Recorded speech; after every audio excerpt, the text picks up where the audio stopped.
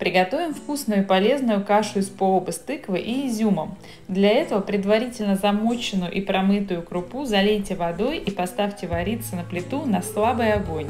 Минут на 15. Пока каша варится, нашинкуйте тыкву. Можно порезать мелким кубиком или потереть на крупной терке, как вам больше нравится. Добавляем тыкву в кашу, перемешиваем, подсаливаем кашу и при необходимости добавляем немного воды. Варим до готовности тыквы. В самом конце добавляем в кашу промытый изюм и даем каше настояться ну, 10 минут, чтобы изюм разбух. На этом же этапе можно добавить молоко или сахар, если без этого никак. Подавать кашу с маслом. Приятного аппетита!